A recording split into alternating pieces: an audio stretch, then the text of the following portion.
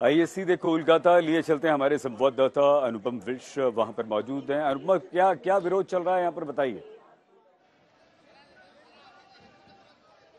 जी देखिए सईद कोलकाता में जो गवर्नर हाउस है राजभवन है उसके ठीक सामने कांग्रेस जो कार्यकर्ता हैं वो विरोध प्रदर्शन कर रहे हैं और ये विरोध प्रदर्शन के बाद अब पुलिस ने उन्हें गिरफ़्तार कर लिया है। बहुत ज़्यादा देर तक प्रदर्शन नहीं चला क्योंकि ये जो पूरा इलाका है एक धारा के अंतर्गत आता है इसलिए भारी संख्या में पुलिस पहले से ही तैनात थी और जैसे ही कांग्रेस कार्यकर्ता अचानक से यहाँ एकत्रित हुए लगभग डेढ़ सौ दो के आसपास कांग्रेस कार्यकर्ता अचानक से ही यहाँ पर आ गए और पुलिस ने बैरिकेडिंग की। जो राजभवन है गवर्नर हाउस है उसके ठीक सामने बैरिकेडिंग की गई। बैरिकेडिंग तोड़ने की कोशिश की कांग्रेस कार्यकर्ताओं ने और इसके बाद पुलिस ने कांग्रेस कार्यकर्ताओं को गिरफ़्तार कर लिया। एक एफईजी भी जलाई गई। कुछ कांग्रेस कार्यकर्ता अभी भी यहाँ पर हम देख सकते हैं। आप लोगों का क्या कहना है? किस लिए विरोध हमारा कहना है, राहुल गांधी के ऊपर जिस तरह अत्याचार किया जा रहा है, पूरे भारत में सिस्टम को तोड़ने का काम किया जा रहा है। ऐसे पार्टी के खिलाफ हमारा नारा है। राहुल गांधी विरोध लगातार गिरफ्तारी भी हो रही है। जो जो यहाँ पर कांग्रेस कार्यकर्ता विरोध प्रदर्शन कर रहे हैं उनको गिरफ़्तार किया जा रहा है और एक तरह से अब इलाके को पूरी तरह से खाली किया जा रहा है डिस्पर्स किया जा रहा है। भारी संख्या में पुलिस बल को यहाँ तैनात किया गया था।